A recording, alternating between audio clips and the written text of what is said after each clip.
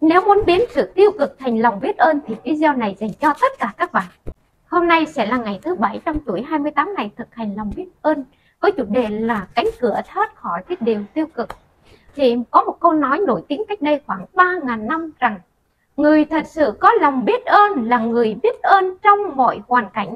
Khi chúng ta có một mối quan hệ ở trong tình trạng khủng hoảng có áp lực về tài chính, vấn đề sức khỏe hay công việc khó khăn, lúc đó những tình huống tiêu cực sẽ xuất hiện. Vì khi ấy bạn đã thiếu đi lòng biết ơn. Trong một thời gian dài, khi mọi thứ đến với mình, chúng ta xem đó là điều hiển nhiên. Và khi nhận được điều hiển nhiên ấy, chúng ta sẽ không cho đi sự biết ơn. Đó chính là nguyên nhân gây ra sự tiêu cực. Chính vì thế sẽ khiến phép màu không thể nào xảy ra. Lòng biết ơn thì luôn mang đến sự kỳ diệu trong cuộc sống. Và nếu bạn xem đó là hiển nhiên dẫn đến sự xa rút trong cuộc sống. Khi chúng ta đang mạnh khỏe. Chúng ta có biết ơn sức khỏe không? Hay bạn chỉ để ý đến sức khỏe của mình khi không còn? Và ốm đau bệnh tật kéo đến. Bạn có biết ơn chiếc xe của bạn vẫn còn tốt? Hay chỉ để ý nó đến khi nó đã bị hỏng?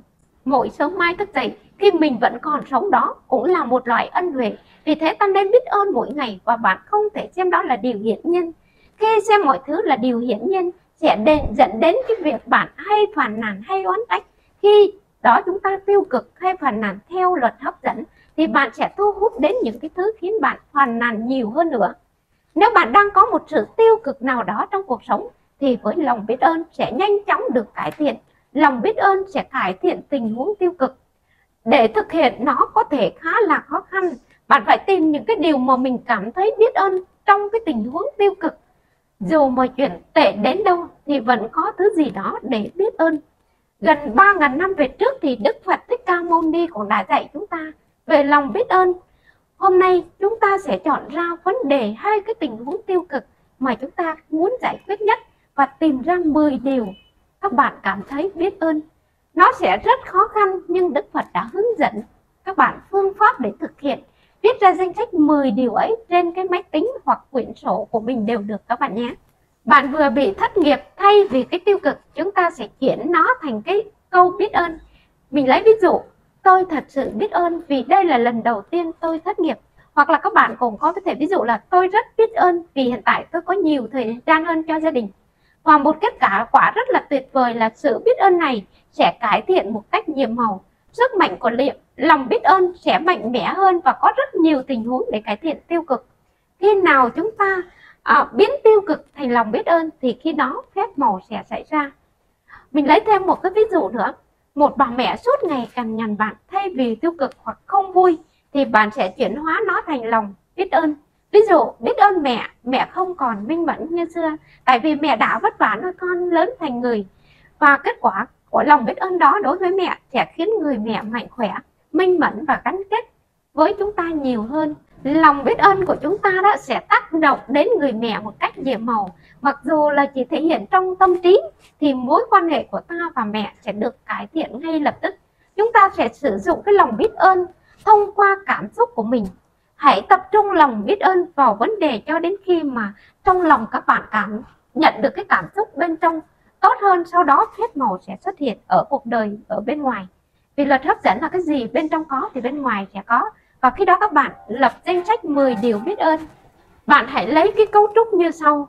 Tôi rất biết ơn vì tôi thật sự biết ơn vì hoàn cảnh nào đó với điều bạn vui vẻ. Khi đã liệt kê 10 điều bạn cảm thấy biết ơn, hãy hoàn thành phương pháp cách thoát khỏi tiêu cực bằng cách viết cảm ơn cảm ơn cảm ơn. Vì đã cho tôi thấy giải pháp hoàn hảo khi phát hiện ra mình đang nói hoặc đang nghĩ cái điều tiêu cực, thì các bạn hãy chuyển hóa nó trong vòng 60 giây và nói rằng mình cảm thấy biết ơn. Bạn hãy mang theo công cụ nhiệm màu này và thực hiện ngay khi cần. Khi ý nghĩ hoặc lời nói tiêu cực lóe lên, thì bạn hãy lập, dập tắt nó ngay từ đầu và khi ấy, bạn sẽ thắp sáng cuộc đời của mình một cách màu nhiệm. Và sau đây là cách thực thi phương pháp nhiệm màu số 7. Thứ nhất là các bạn lặp lại từ bước 1 đến bước 3 của phương pháp nhiệm màu số 1. Cảm thấy mình thật hạnh phúc và viết ra 10 điều hạnh phúc. Lý do tại sao bạn cảm thấy hạnh phúc và đọc lại danh sách từng câu một và nói lời cảm ơn, cảm ơn, cảm ơn với điều đó. Thứ hai, chọn một vấn đề hay tình huống tiêu cực trong cuộc sống mà bạn muốn giải quyết sau đó liệt kê 10 điều bạn thấy biết ơn về tình huống tiêu cực ấy và nói lời cảm ơn, cảm ơn, cảm ơn. Và bước thứ ba, trước khi đi ngủ, bạn hãy cầm cái hòn đá nhiệm màu trong tay và cảm ơn tất cả những cái điều tốt đẹp đã xảy ra trong ngày hôm nay. Và chúng ta sẽ lựa một cái một ừ, ý niệm hạnh phúc nhất để mà neo vào cái hòn đá nhiệm màu đó. Và để có những cái bước thực hành và được ờ, uh, doanh nhân uh, giảng giải cho các bạn hiểu sâu về lòng biết ơn thì các bạn hãy dồn vào cái môi trường học tập CK có gắn link ở trên tường hẹn gặp lại tất cả các bạn.